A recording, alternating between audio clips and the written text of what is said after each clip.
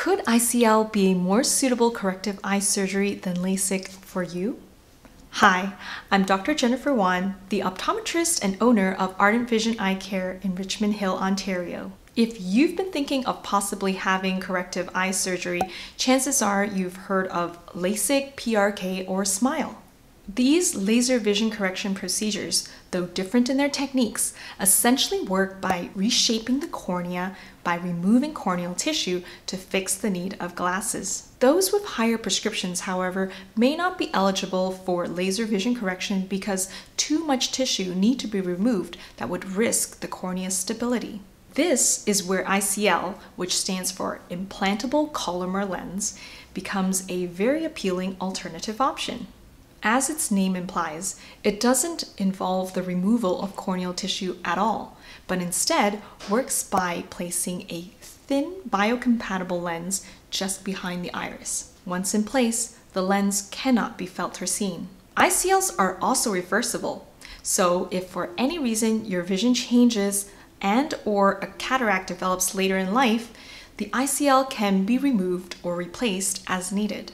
Only a microincision is required in the periphery of the cornea for the insertion of the lens. The lens is extremely thin with a central thickness of that of a human hair. Visual recovery is usually rapid and noted within hours of the procedure. Before anyone tells you not to be the guinea pig for new procedures, just know ICL has been made available for over 20 years with over a million procedures performed worldwide already.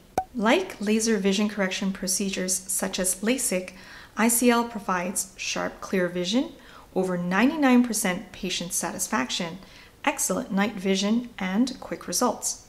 And in addition to the benefits of traditional laser vision correction procedures, ICL also is great for those with thin corneas and people who are not candidates for LASIK. It does not induce dry eye syndrome. It's a removable option and the lens material intrinsically provides UV protection. It can also treat higher levels of nearsightedness, farsightedness, and or astigmatism than laser vision correction procedures usually can. All in all, if you've been deemed a good candidate for LASIK or other laser vision procedures, then great.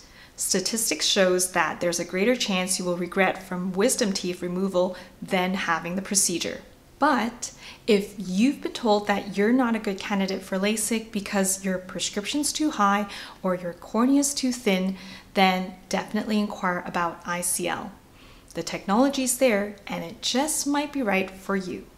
If you're in the Greater Toronto area and would like to consult me regarding a possible vision correction procedure, you can contact me with the contact information in the description box below.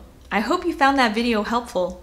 If you enjoy watching more free eye health videos, consider subscribing, like this video, and hit that notification bell so you'll be the first one to know about the next video out. Until then, I'll see you in the next one. Bye!